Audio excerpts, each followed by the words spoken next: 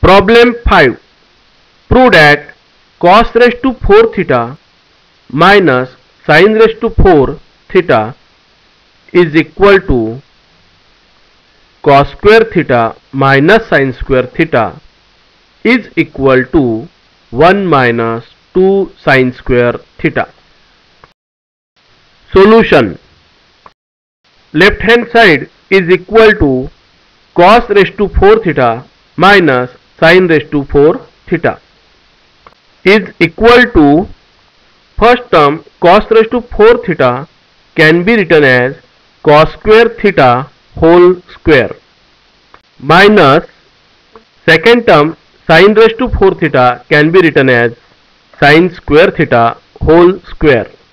Is equal to by using the identity a square minus b square is equal to a minus b into a plus b, we can factorize the above expression as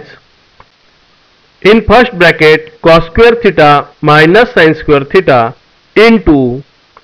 in second bracket cos square theta plus sin square theta is equal to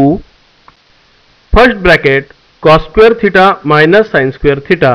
as it is into according to trigonometrical identity cos square theta plus sin square theta is equal to 1 is equal to cos square theta minus sin square theta. Is equal to replacing first term cos square theta by 1 minus sin square theta minus second term as it is sin square theta is equal to 1 minus sin square theta minus sin square theta that is minus 2 sin square theta which is equal to right hand side